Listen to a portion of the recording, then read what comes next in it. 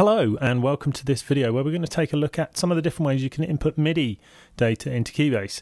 Now you'll certainly know one of these already, otherwise you wouldn't have been able to use Cubase, but we're just going to look at some different ways you can use uh, real-time recording and extensions thereof such as step time etc and find different ways for achieving the same task but depending on your keyboard skills and depending on the situation uh, different ones can be appropriate in different places. So the first one, obviously, is real-time recording. Though I say obviously, sometimes people don't realise you can do this. So you can hit the record button, star on your keyboard, etc., and then you can just record in real time. So we'll just do something very briefly with that.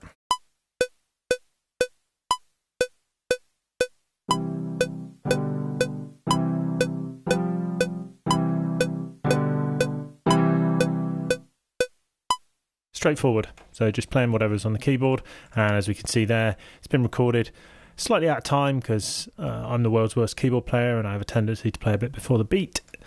Now, we can fix that. In fact, you can fix it while you're going because obviously, what you can do is press Q. And if you've set an appropriate quantize, not 16ths in this case because I'm a bit previous, but quarter like that, it will move it into place. But if you know that what you're going to record is going to need to be quantized, what you can do is actually set it to be quantized straight away. So if you've got to work really quickly, which sometimes we do, you can do that. And all you need to do is open up the transport bar, and then you can see down here, if you click there, we have this uh, section which says auto quantize. If you turn that on, whatever you've got recording uh, will get quantized as you record it. So we're just going to zoom in so you can see that in action there. So we can see that these, in fact, I'll just undo the quantize on them so you can see that they're a little bit before the beat, etc. And now we are going to just record something new here, but with auto quantize turned on, and it gets quantized straight away.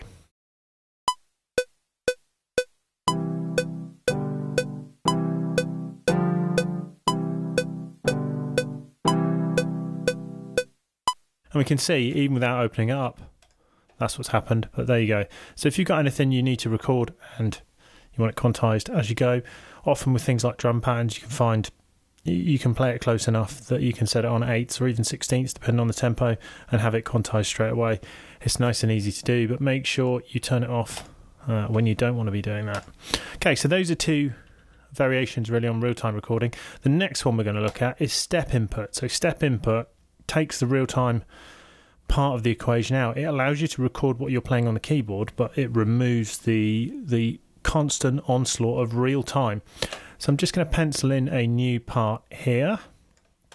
And this is available in either the full key editor or in here. They're the same thing largely. So step input is here. It used to be a foot. Now it's some building blocks.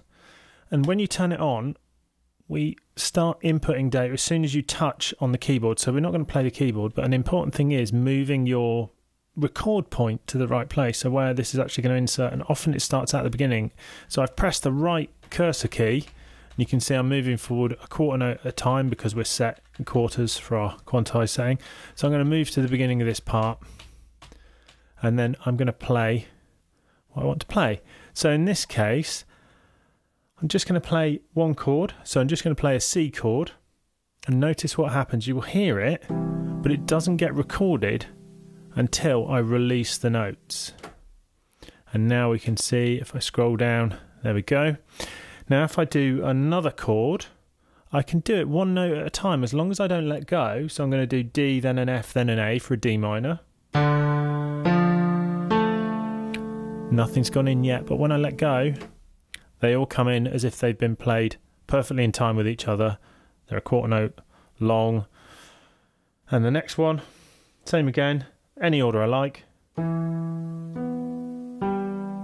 You can see same things happen there. So this is really useful if your keyboard skills aren't great or you're building chords that you're not really confident with. You have to play the right notes because if you play a mistake, it will be in there. But um, anything where you can't do it in real time, this is a really good way of doing it. Obviously, you can change this to something where the the tempo would be the, the flurry of notes would be way too much. So 30 seconds or 64ths or just even 16ths. If you want to come up with some complicated baroque sounding arpeggio or, or line, etc., you can record it really quickly by doing this, and the timing will be perfect, and you can make it up in real time. So let's just quickly do something like that.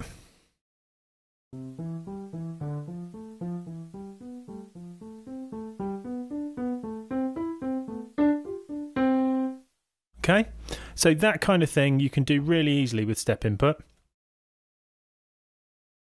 Now, the final thing we're going to look at is kind of a variation on that. And what it does is it allows us to record, let's say, the rhythm of something. We can record that in one way and then we can change the pitches of the notes afterwards. So, what I'm going to do is use real time recording to record a rhythm, and then I'm going to use this uh, MIDI modification to change the pitches of the notes so you can change it afterwards. And you don't have to just do this for uh, recording, you can just do it to take an idea and change the notes that are in it really quickly by using the keyboard. So, first things first, let's get this recorded.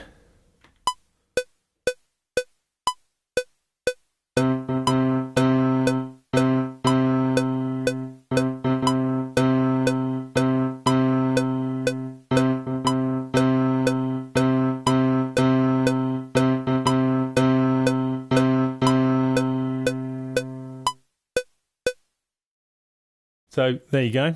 There's our rhythm, but at the moment, obviously, it's all on one note, which is a bit tedious. So let's just make this a little bigger so we can see this a little better. Now, this is in a similar area here. So I'm going to click on this first mm. note here, and then I'm going to activate this MIDI input. And this allows us to change different parameters of it by playing things on the keyboard. So at the moment, the only thing that's turned on is record pitch. Normally, by default, you would have velocity on as well, but I'm going to turn that off. So we're just going to stick with the velocities I've recorded. And now I'm going to play in the correct pitches, but not in real time. So let's say if it was something too complicated, something I couldn't handle on the keyboard, which uh, all of us have, but some of us are a little lower level than others, like me. Um, so let's just take a look at that.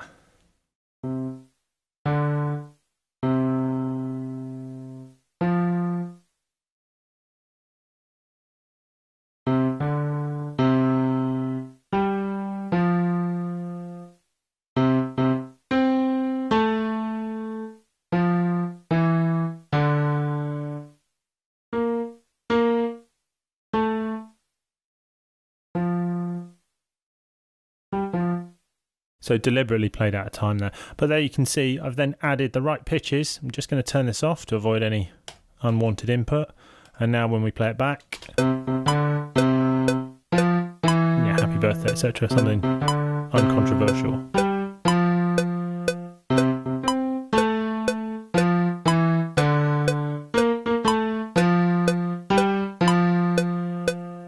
So that can be used to modify the pitch of something you've done. You could also do it for the velocity. So let's say we wanted to go through this and change the velocities. We could just click on the first mm. note. We'll activate MIDI input. I'm going to turn pitch off and velocity on. And now as I play,